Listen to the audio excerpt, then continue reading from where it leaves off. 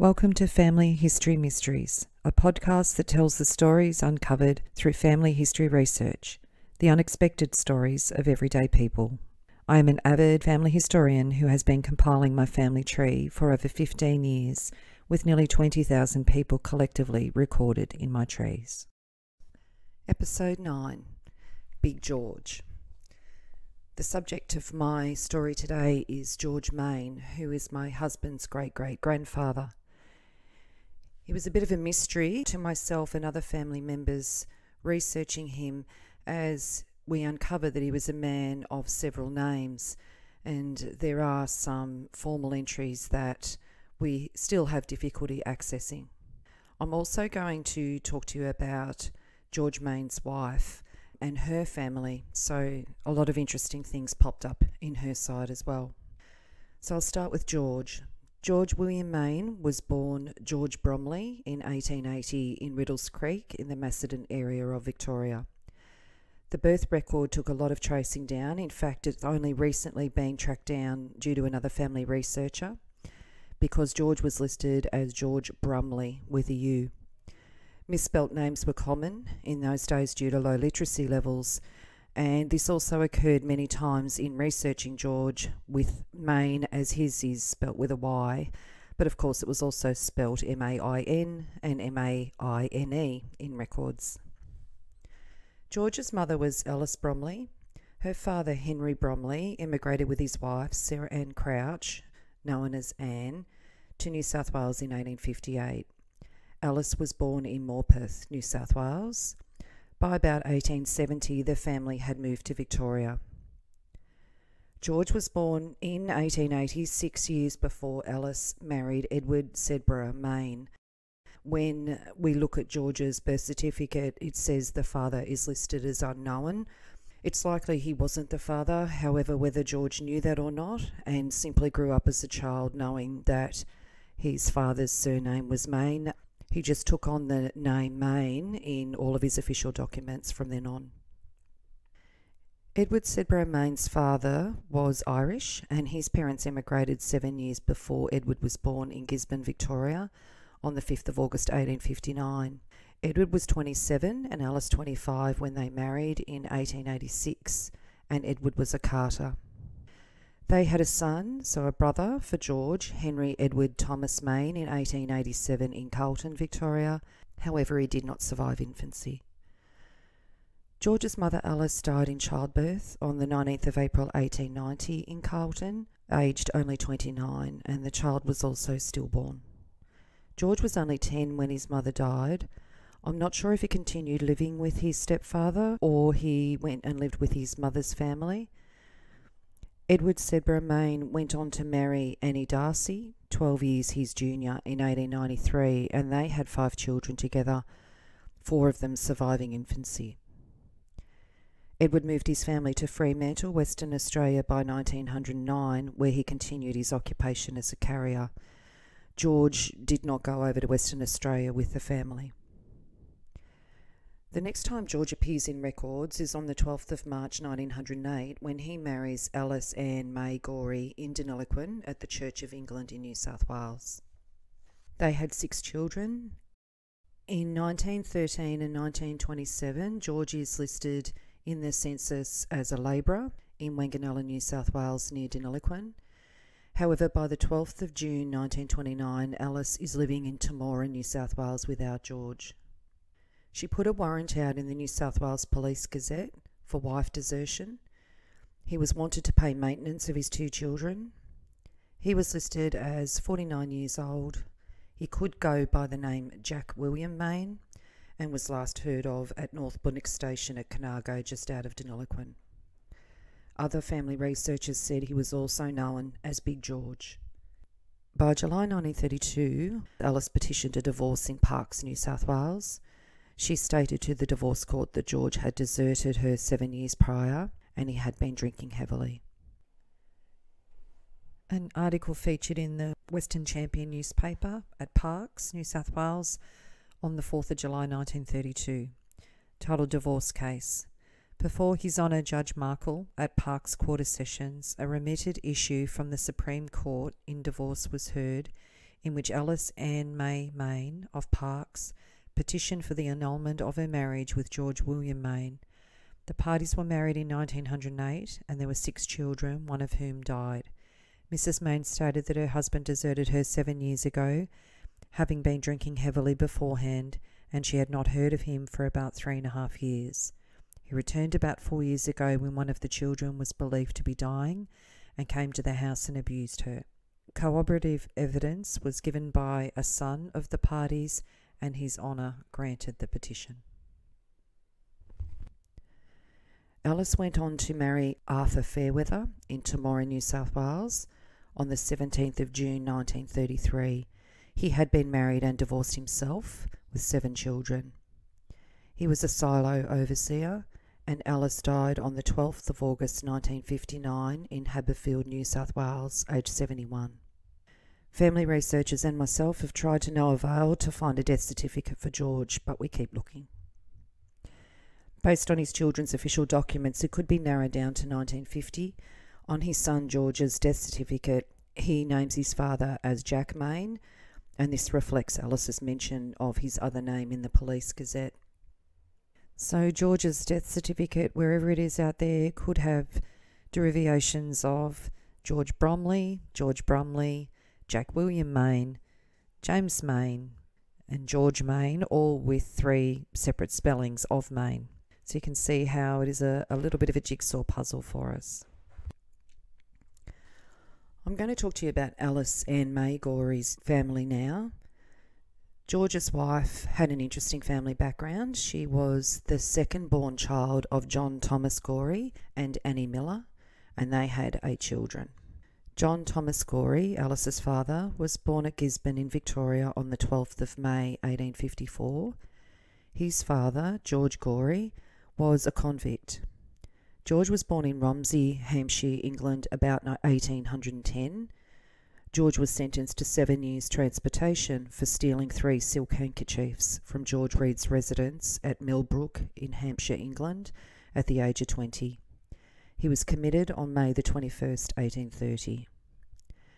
His convict record stated he was a labourer, five foot two, dark complexion with no whiskers, brown hair and eyebrows, and blue eyes. He was kept in a hulk ship for one month before he departed Southampton, England on the 20th of July 1830 on the ship John. There was a shortage of prison accommodation in England, so prisoners were transferred to the hulks, and the hulks were decommissioned warships that were anchored off in the mud of Woolwich. They were dark, they were damp, they were verminous, and few prisoners managed to escape. So, luckily for George, one month was quite a short time to be in the hulks. George arrived with 199 other convicts to Van Diemen's Land, or Tasmania as we know it today, on the 28th of January 1831. His record is quite scant, which is a good thing. That means that he behaved while he was there and he received his ticket of leave in February 1835, allowing him to move to Victoria. He married Eliza Jane Farrell on the 2nd of August 1850 at St Francis Church in Melbourne. Eliza had only arrived in Melbourne five months before from Ireland and was 17 when they married. George was 40. Eliza had only arrived in Melbourne five months before from Ireland. She was listed as a house servant on the shipping records and she came out on an orphan ship and I'll just divert for a moment and explain what it meant by being on an orphan ship to come out to Australia. The first orphan girls arrived from Ireland to Australia in 1848, and a total of six chip, ships, including the Eliza Caroline, which is the one that Eliza came out on, sailed across the world. A total of 4,000 Irish famine orphan girls were sent to Australia, with 1,700 of them arriving in Melbourne. The orphans had an important and still widely unknown role in the, in the Australian story, and one which countless Australians can claim in their own family story, as I can for my husband's family tree. The Great Hunger had decimated the population of Ireland, resulting in more than 1 million deaths and 2 million immigrants forced to flee starvation. Between 1849 and 1851, The Earl Grey scheme took girls aged from 14 to 19 from workhouses across Ireland to work in Australia as servants and to help populate the new colony. After the horror of starvation and loss of family and home in the Irish famine, surviving the destitution of the infamous workhouses, and enduring an arduous sea voyage, the orphans reached a strange and intimidating new land, but they must have had feelings of hope and optimism. An excerpt from the Argus, which was Melbourne's main newspaper of the day, on the 4th of April 1850, said another shipload of female immigrants from Ireland has reached our shores, and yet, though everybody is crying out against the monstrous infliction and the palpable waste of the immigration fund furnished by the colonists in bringing out these worthless characters. And that would have been referred to as Eliza's ship. Another excerpt from the Argus on April the 24th, 1850, of a citizen echoed society's clamour. The whole country cries out against the further admission into our colony of such degraded beings as the majority of the female orphans have been found. Nor has their cries been raised without reason, for we venture to say every vessel that brings an increase of this kind to our female population brings a melancholy increase to the vice and lewdness that is now seeming to be rampant in every part of our town. From this class we have received no good servants for the wealthier classes in the towns, no efficient farm servants for the rural population, no virtuous and industrious young women, fit wives for the labouring part of the community, and by the introduction of whom a strong barrier would be erected against the floods of inequity that we are now sweeping every trace of morality from the public thoroughfares of our city. So there were reports that they weren't gratefully received. They felt, residents of Melbourne felt that they were not going to benefit society at all out here. Nonetheless, most orphans flourished. They married and raised families in the harsh conditions of the new colony. Great numbers would live to see the dawn of the new 20th century in their new land. George purchased land in Gisborne, Victoria in September 1851, and by 1852 he had purchased two town lots, so he seemed to be going along pretty well.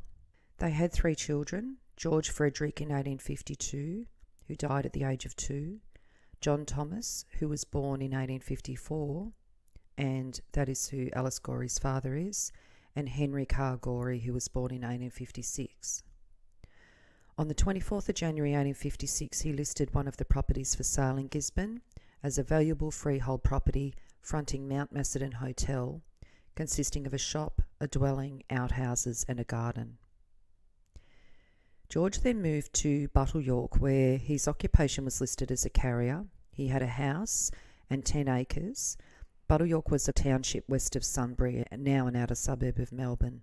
And at this point, it's likely that Eliza did not move with him. She could have even separated from him just before the time that he left Gisborne. Because in 1859, Eliza gives birth to a son, James Wedderburn Gorey, in Gisborne. This child died aged 16 months on the 3rd of January 1861. His father was most likely James Wedderburn Nichol. She would have had to have named the child Gorey as she was still married to George Gorey. James Nichol was born in Dundee, Scotland. He was also a convict. He worked at a post office in Woolwich, England, and stole a letter that contained a cheque. He attempted to forge the cheque and deposit it into his bank account. As a result, he was given life transportation. He was tried on the 15th of March 1834 in Edinburgh, Scotland. He arrived in Van Diemen's Land on the Lady Kennaway on the 13th of February 1835. He was listed as a clerk on his convict record. His height was six foot one and a half inches, 24 years at the time of transportation, fresh complexion, brown hair, brown eyebrows, a high forehead, an oval long visage, blue eyes, and a long nose. He obtained his ticket of leave in March 1843. By June 1856, he'd emigrated to Victoria and was granted the licence for the Bush Inn at Gisborne. In 1857, he was the licensee of the Telegraph Inn. James was 24 years older than Eliza. They had two more children Frederick Finlay Nichol Gorey, born 1861 and died in 1861, and the third child was recorded with the surname Nichol, Oliver Victor Nichol, born on the 22nd of December 1861 and died on the 1st of April 1871 in Gisborne. So in 1871, James places a death notice in the paper for Oliver. There is no mention of Eliza, it just says that he is the son of James W. Nichol, and you'll see why very soon. In 1865, Eliza gave birth to Elizabeth Jane Gorey. The father was listed as unknown.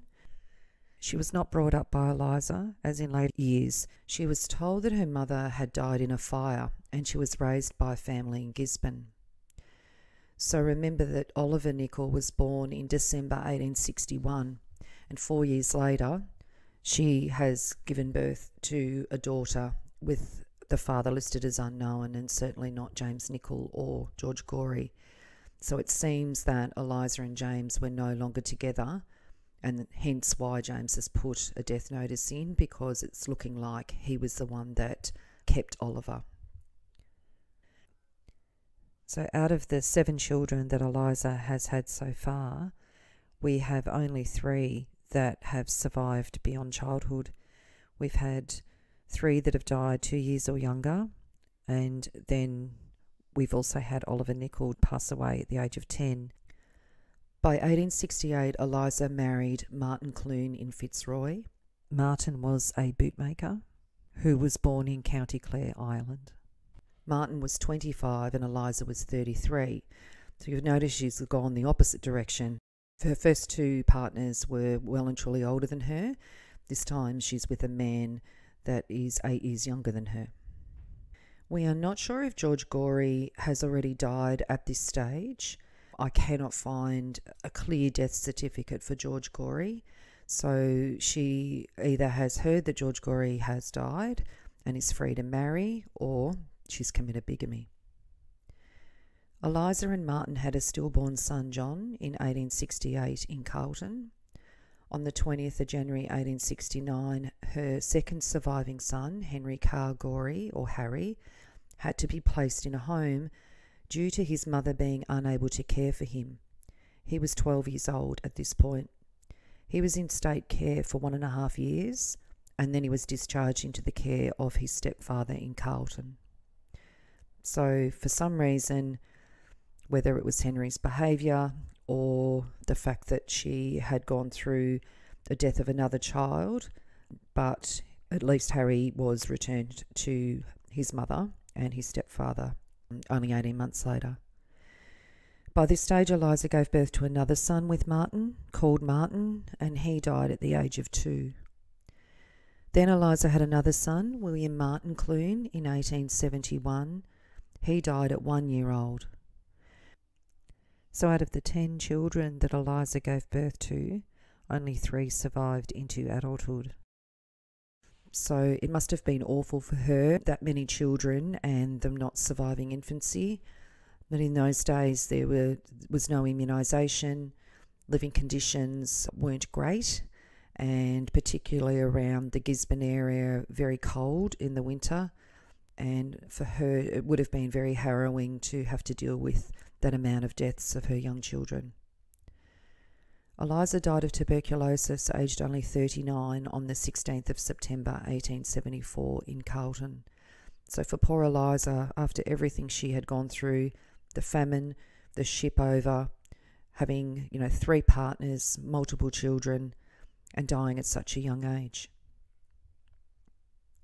So we're just going back to Eliza's second born son, John Thomas, or Jack Gorey, who is Alice Gorey's father.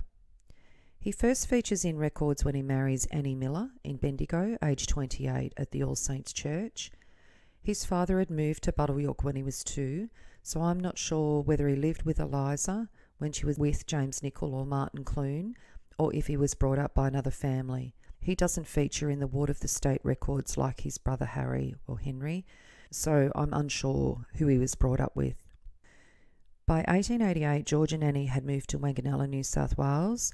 George had obtained a position as a station hand on a property. His brother Harry or Henry had arrived in Wanganella only a couple of years earlier, so it's quite possible that um, Henry told him about the possibilities of getting some good ongoing work there, and it encouraged him to come up into southern New South Wales. And this is how Alice Gorey and George Mayne would have met, as George Mayne was working on Boonwurrung and George Gorey, Alice's father, was at Wanganella, that are quite close properties. George and Alice had six children. The eldest child, Alice Lucy Mayne, who is my husband's great grandmother, she was born on the 12th of August 1908 in Deniliquin. She married Harold Munro. He was a station hand out at Zara Station at Wanganella. And they had six children. Alice died on the 17th of June 1998 in Deniliquin, aged 89 years. George William Mayne was the second born child. He was born on the 7th of February 1910. He married Myrene Melba Simpson in Parkes. He enlisted in the military on the 24th of December 1941 in Parkes at the age of 31 and he was a sapper in the Australian Mechanical Equipment Company. He was discharged from the military on the 8th of January 1946. He divorced Myrene in 1951 in New South Wales and he died on the 10th of November 1974 in Sydney, aged 64. His inscription on his grave does say he is the husband of Myrene and, and the loving father of his children. The third born child was Myrtle Annie Mayne. Myrtle was born in 1912 in Deniliquin. She married Harry Lionel Salt in Parkes in 1932. And by 1949, she's living in Haberfield, which was where her mother was living at the time, and her stepfather, Arthur Fairweather. So at this point, it's looking like she's not with Harry anymore. So that's about 17 years since they married. And she died on the 27th of August 1857 in Ashfield in Sydney. Myrtle was only 45 years old. Iris May Mayne was born in 1915 in Deniliquin. She died at the age of five on the 10th of January 1920 in Deniliquin, and her cause of death was listed as heart failure complications from a tonsillitis infection. Elsie Mayne was the fourth child born. She was born in 1916 in Deniliquin. I cannot find a death record for her, which makes me presume that maybe she was a stillborn child or died quite young. And the youngest in the family, Lindsay John Mayne, was born on the 6th of November 1923. He married in Ashfield, New South Wales, to Bridget Mary Dillon. He lived at Granville. He was a battery fitter as his occupation, and he died on the 5th of April 1996 at Palmdale on the Central Coast. I'll just now give you some information on John Thomas Gorey and Annie Miller's children. We've already covered Alice Gorey. The firstborn was George William Gorey. He was born in 1885 in Sandhurst, Victoria, which we now know as Bendigo. At the age of 37, he married Letitia Rose Barton at the Renmark Methodist Church in Renmark, South Australia. He then owned land. He was a share farmer at Taldra, South Australia, until 1943 when he moved up to Alice Springs. He was a pastoralist with his brothers James and Thomas on Yamba Station in the Northern Territory, and he died in 1957, aged 72. Henrietta Gorey is another child. She was known as Etta. She was born in 1891 in Deniliquin. She married Thomas Bell O'Reilly in Deniliquin at the age of 18 in 1909. And Thomas was a farmer from Griffith, so they moved up in the Griffith Gulgowie area. She died on the 6th of June 1946 in Alice Springs at the age of 55. John Henry Alfred Gorey. He was married in Deniliquin on the 31st of July 1892. By the time he's 22, he's living in Alice Springs. He was a well borer, so a boring contractor that would bore the wells for water up in the Northern Territory And he then, by the time it came to 1954, he was then a pastoralist at Yamba Station with his brothers. He was living at Darwin in 1963 and he died aged 73 on the 25th of September 1965 in Alice Springs. Mary Emily Gorey, she was born on the 15th of April 1895 in Wanganella. She married Frank Alfred Loy on the 29th of October 1914 in Deniliquin when she was 19, and she died in Cootamundra on the 6th of June 1946, aged 51. James Charles Gorey was born in 1896 in Deniliquin.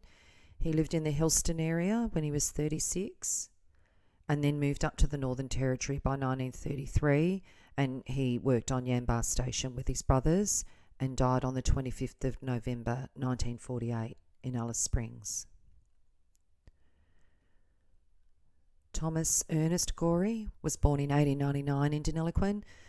He was also in Helston 1932 and up at Yamba Station by the time he was in his mid 50s, and he died in 1976 at Alice Springs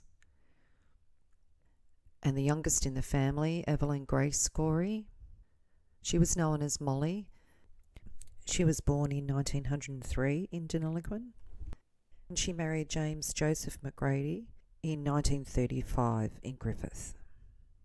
Unfortunately for Evelyn, her husband died in the Prince of Wales Military Hospital in Randwick at the age of 46 in 1944. So she found herself with quite young, two children under 10, um, that she took care of. She then moved up to Croydon in near Sydney in 1943. In 1947, she was the matron of the St John the Baptist's Hostel in Alice Springs for a year, and it was the residence of outback children that attended school. She was still living at Alice Springs, uh, 69 years old. I've been unable to find a formal death certificate for her. And just a little bit of information on Henry Carr Gorey, who was the only one of three surviving children of Eliza. He, as you know, was in care and then returned to his mother and stepfather. He married Margaret Elizabeth Burnell at the age of 22 on the 12th of July 1878 in Carlton. By the time he was 27, he was widowed and they already had three children he then went on to marry Alice Eustace Malthouse Brearley at Wanganella on the 24th of May 1885 at the age of 29, and they went on to have a whopping 13 children together. So, with Henry Carr Gorey, he ended up having one child survive from his marriage to Margaret Elizabeth Burnell, Louisa Margaret, and then he went on to have the other children with Alice. He was a storekeeper at Wanganella in February 1902. Uh, there's a, a couple of ads in the paper. One says in 1904, it says, Notice H. Gorey's IXL store, Wanganella. H. Gorey wishes to draw the attention of all those who have occasion to visit Wanganella that he has built a new store near the bridge and wishes to thank all past favours and trusts that they will not forget to call in in future. Everything man, woman, boy, or girl requires will be found within that little store if you will only call in and see H. Gorey. At the age of 45, he had a home that he called Fitzroy Cottage at Wanganella. He then moved up to North Yanco in the Murrumbidgee region in his late 50s. Henry surrendered his land on the 2nd of August 1913 up at Leeton it's quite possible that he, he gave it a bit of a go in the Yanco irrigation area, but possibly wasn't too successful in that venture. And he died at Leeton on the 21st of December 1926, aged 70. So, out of the children that Eliza and George had, they the boys certainly did well at continuing the family name. And let's not forget Eliza Farrell's daughter, Elizabeth Jane Gorey.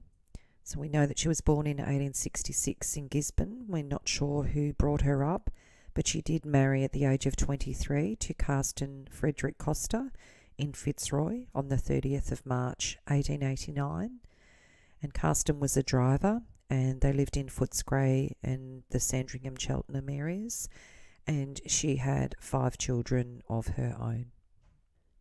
She passed away at the age of 80 on the 7th of May 1946 at Sandringham in Victoria. So, this story of Big George had it all convicts, illegitimate children, and at least one death record that cannot be found. If you have a family history story you would like me to share in a future episode, or you need help in adding a little more information to people in your family tree, go to my Facebook page, Family History Mysteries, to send me a message.